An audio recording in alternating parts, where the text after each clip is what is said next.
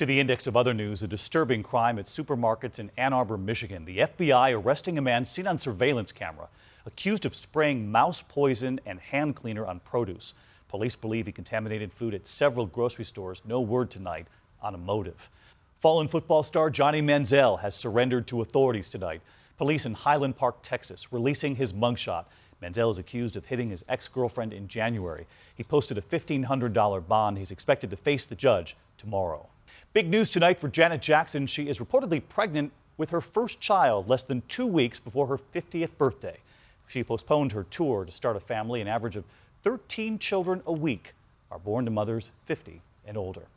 The surprise guest in Alaska. He's coming up right here, dude. Check it out. Boaters getting a close up look at this humpback whale breaching the water just a few feet from the dock. The whale spotted swimming in the bay for three days, feeding on the fish there.